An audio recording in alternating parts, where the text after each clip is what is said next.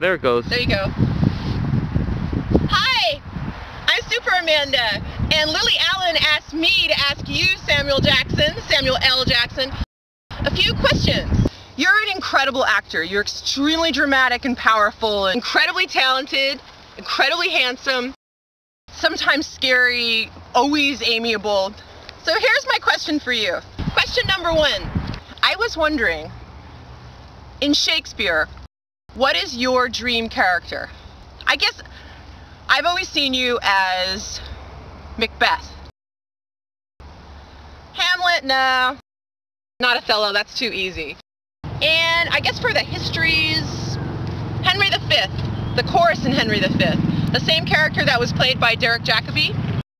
Your ultimate role to me would be Malvolio in Twelfth Night. Because you would rock a pair of yellow stockings with maybe some burgundy garters. So you, Samuel L. Jackson, can you tell me and Lily Allen and friends what your dream Shakespearean character could be?